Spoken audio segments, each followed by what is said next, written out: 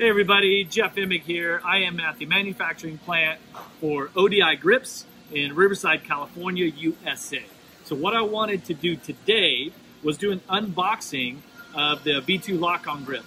Of course, we have the no waffle, half waffle, Rogue, Emig, and the Emig Pro, which are the five models in the V2 lock-on line. So we're gonna open up the package and take a look at what's inside.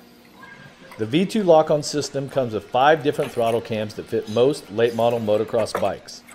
Cams A and J are for four strokes, C and D are for two strokes.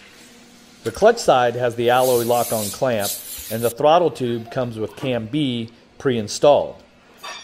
Inside the throttle housing you'll find some paperwork with the cam fitment guide on one side instructing you on which cam fits which models. Also, a list of alternate cams available for mini bikes and off road models that are available through your local dealer or ODIGrips.com. Flip the paper over and you'll find the installation instructions for the clutch side, throttle side, full wrap handguards, and aftermarket handlebars with an aggressive knurling pattern.